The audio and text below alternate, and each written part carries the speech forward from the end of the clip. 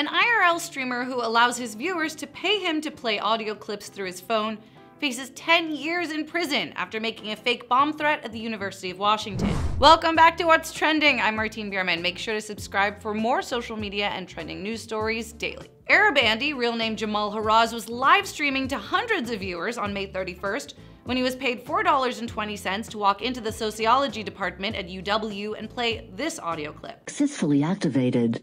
Bomb detonation countdown successfully started.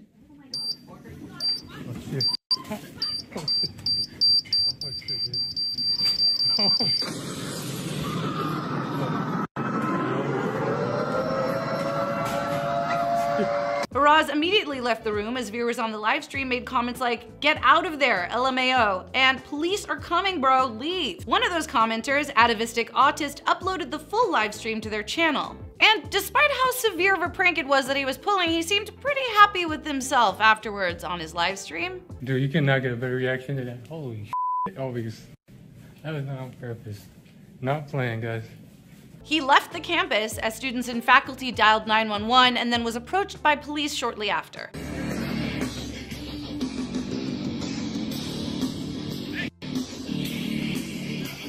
On the ground. Wait, what's going on? Oh yeah, I'm recording, bro. If you're gonna shoot me. As he was being handcuffed, Harraz seemed confused about why he was being taken into custody. That's bro, you're gonna arrest me for nothing, bro.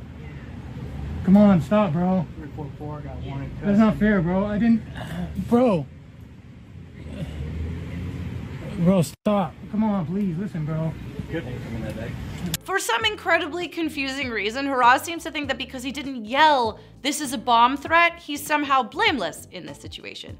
Tell that to the students who were understandably afraid for their lives. At the moment, you like you don't know. Did he like throw something into the other room? Um, that was, I think, probably the like the moment of biggest fear. After going back and watching all of that video that he made, um, I think I realized that I'm, I'm not sure that he knew any more than we did what was going to play over those speakers. Harraz was charged with threatening to bomb or injure property.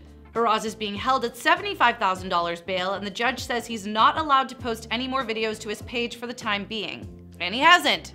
But an audio clip has been posted to the channel Arab Andy highlights on his behalf. And right now, I'm in jail facing felony charges because of that live stream. And, yo, it's, it's just really bad, guys. I might be facing you and my prison. I don't know what to get lawyer. That video pushes to a GoFundMe page asking for donations to Harraz's legal defense. After two weeks, though, the campaign is nowhere near its $7,500 goal. Seems like his viewers are more likely to contribute to him getting into trouble than getting out of it. The GoFundMe page reads, Arab Andy truly is harmless and he never once made a threat. It was a YouTube video that one of his viewers chose to play over his speakers after making a donation.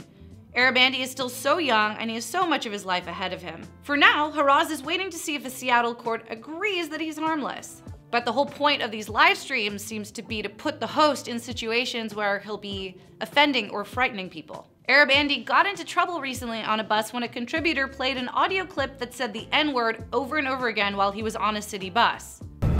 Turn it off. Alright, it's off.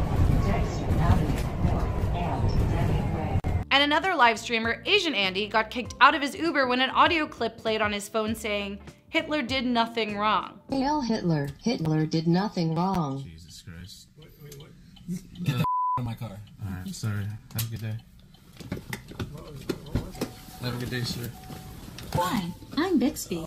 It's great to meet you. Now, in reporting on live streamers like the Andys, the Daily Beast said YouTube stars are getting rich off these kinds of stunts. It's kind of sad that you can make money off of other people being offended or scared, but I guess that kind of depends on what your definition of rich is. Harraz told police that he makes about $1,000 a month off of live streaming, which won't exactly get you a new Lambo. But it is income, and if the viewers are coming in off of YouTube, then YouTube does have the opportunity to make ad money off of that. And I guess the question is, do they want to be making money off of pranks and things like this? What do you guys think? Should Jammal Harraz go to jail? And should the person who paid him to play that clip also get punished? Let us know in the comments. And for more trends, head to whatstrending.com.